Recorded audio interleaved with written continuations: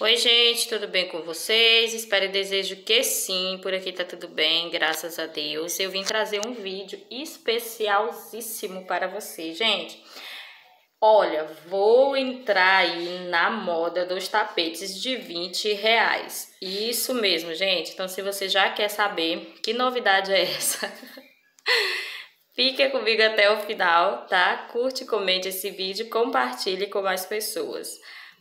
Então, bora lá que eu vou explicar para vocês. Meninas, eu tenho aqui, ó, essa caixa organizadora. Ela é de 20 litros. Inaugurou uma loja aqui na minha cidade e essa caixa tava por 15 reais. Eu comprei três para colocar no ateliê.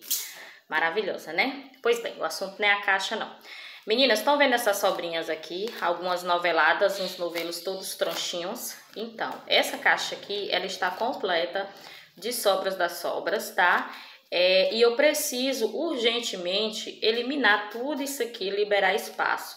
Além disso aqui, eu tenho mais sobras, eu tenho cones com quantidades maiores, é, tipo uns 400 gramas. Eu tenho cones quase todos completos de 600, 700 gramas, porque eu trabalho com cones de 1 kg, né?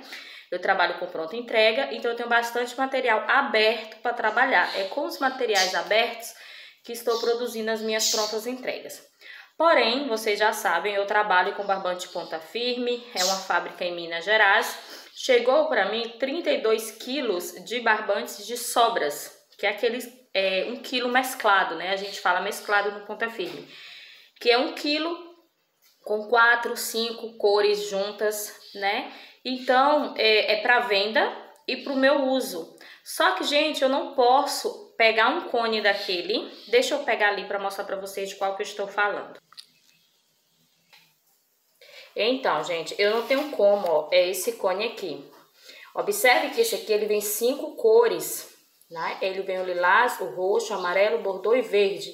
Eu estou ansiosa para pegar esse cone e trabalhar ele na sequência de cores que eles estão vindo. Só que eu não posso, gente, é, abrir um cone desse, sendo que eu tenho tudo isso e mais para poder trabalhar. Então eu preciso eliminar isso aqui que eu tenho, colocar para venda, produzir peças, colocar para venda, para só depois eu começar a trabalhar com esses cones aqui coloridos, né? A gente tem que ser é, lógica, não tem lógica de eu abrir esse cone com isso aqui e mais que eu tenho guardado, né? Isso aqui vai ser só para vocês verem o inicial, o, os tapetes iniciais que eu vou fazer com essa quantidade que eu tenho aqui. Aqui eu tenho sobrinhas de vários pesos, ó, 112 gramas. Eu tenho sobrinhas aqui de fio 8, fio 6, fio 4 e eu pretendo fazer os tapetinhos de 20 reais com essas sobrinhas que eu tenho aqui. Inicialmente eu quero tentar trabalhar com os tapetes em degradês, tá?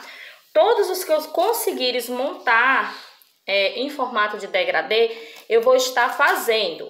E aí, por último, eu vou deixar os bens coloridinhos, que são aqueles que eu não consigo é, fazer em formato degradê.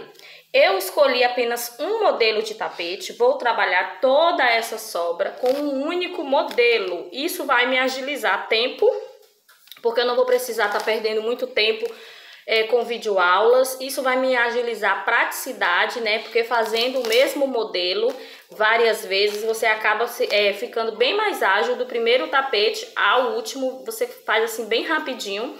É, é, vai ser um modelo, eu já sei qual é o modelo, vocês vão me acompanhar aí, vocês vão ver aí ainda nesse vlog, tá?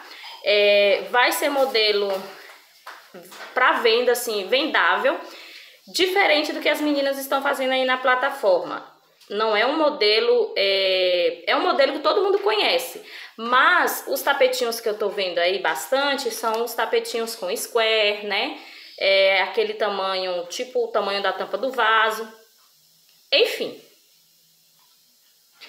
então, meninas, eu já escolhi o modelo, já vou mostrar para vocês logo na sequência, vou começar a trabalhar aqui. Mas antes eu vou pesar essa vasilha aqui pra gente ver qual a quantidade que eu tenho aqui de sobrinhas. E aí a gente vai conferir, porque vai sair vários vídeos, é, episódios, tá? Ou melhor, esse primeiro vídeo não vai ter a produção ainda, vai ser o vídeo só mostrando pra vocês a quantidade de sobrinhas, ó.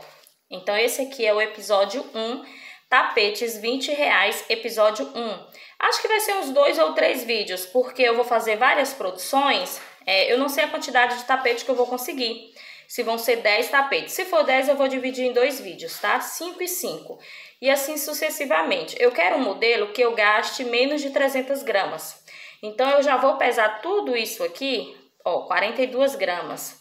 Eu vou pesar tudo isso aqui para me ver a quantidade exata, porque aí eu vou saber mais ou menos é, quantos tapetes eu vou conseguir fazer. Ó, 88 gramas.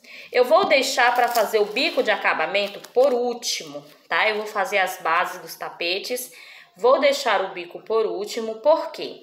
Porque se eu não tiver uma quantidade de sobra suficiente, o bico eu quero fazer com a cor única, né? Por exemplo, finalizar um bico no preto, finalizar um bico no vermelho, no cru. E aí, se as minhas sobras que eu tiver aqui não der para fazer o bico, eu vou precisar pegar de outros barbantes maiores. Então, nos vlogs eu vou mostrar para vocês. Olha, meninas, eu, esses tapetes ficaram nesse ponto das sobrinhas, porém, eu vou, ó, 82 gramas. Eu vou ter que utilizar esse barbante aberto aqui para poder finalizar o bico de acabamento. Entenderam, meninas? Outro detalhe, esses tapetes eles vão ser vendidos lá na feira por 20 reais à vista ou no Pix, tá? 20 reais à vista ou no Pix e no cartão de crédito 25 reais, porque a ideia desses, desses tapetes é para que eles sejam vendidos no dinheiro, tá, gente? Porque quando a gente passa na maquininha, tem o desconto da maquininha. Então, se eu passar por 20 reais, é, não vai cair os 20 reais para mim, vai cair menos. Então eu vou, o meu tapete não vai ficar pelo valor de venda de 20 reais. Então a ideia vai ser essa: 20 reais dinheiro ou Pix, 25 no cartão, ó, 128 gramas. Então eu tenho aqui ainda bastante sobrinhas, tá vendo? Bastante sobrinhas aqui. E agora eu vou tentar pesar todos é, aqui na caixa. Deixa eu pesar aqui essa caixa. Eu tenho uma aqui igualzinha. Gente, eu achei muito barato essas caixinhas organizadoras, viu? Porque aqui na minha cidade é cara. E aí inaugurou uma loja de utensílios e estava por tarei. Deixa eu colocar outra aqui, peraí, deixa eu pausar aqui. Eu comprei elas por 15 reais. Olha, meninas, eu tarei. Deu 440 gramas a vasilha. E aí, Deixa eu colocar aqui as minhas sobrinhas. Olha, já tá dando 3 quilos.